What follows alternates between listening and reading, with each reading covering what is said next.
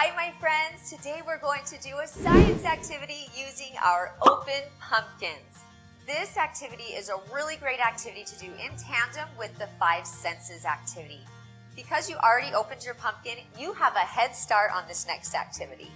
The first thing that you need to do is scoop out all of the nuts inside of your pumpkin.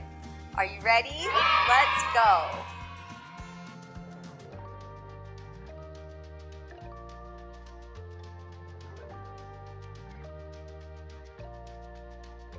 For this activity, you are going to need your pumpkin that is cleaned out, some vinegar, some baking soda, and some measuring tools.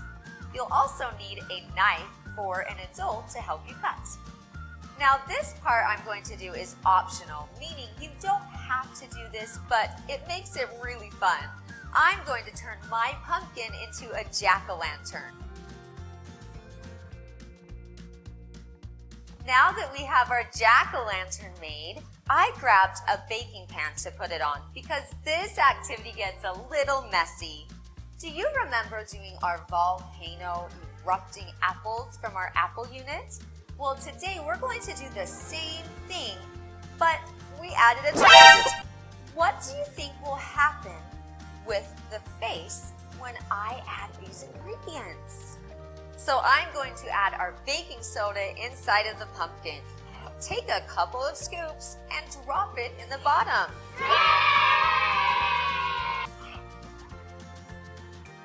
Now that I have some baking soda in there, I'm ready to add the vinegar. What do you think will happen when I add the vinegar inside of my jack-o'-lantern? Let's watch what happens.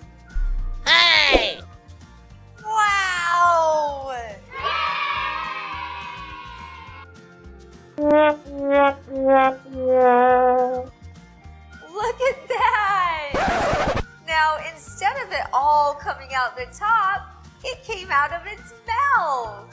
That was fun. Make sure to try this activity at home. We'll see you next time on My Preschool Place. Goodbye. Hey there, friends. If you liked this video, you can find hundreds more over at our website. Go to www.mypreschoolplace.com or you can follow the link below. There, you can access all of our videos and download worksheets and activities to go with them. We have hundreds of worksheets and activities to keep you happy, engaged, and learning at home. Can't wait to see you there.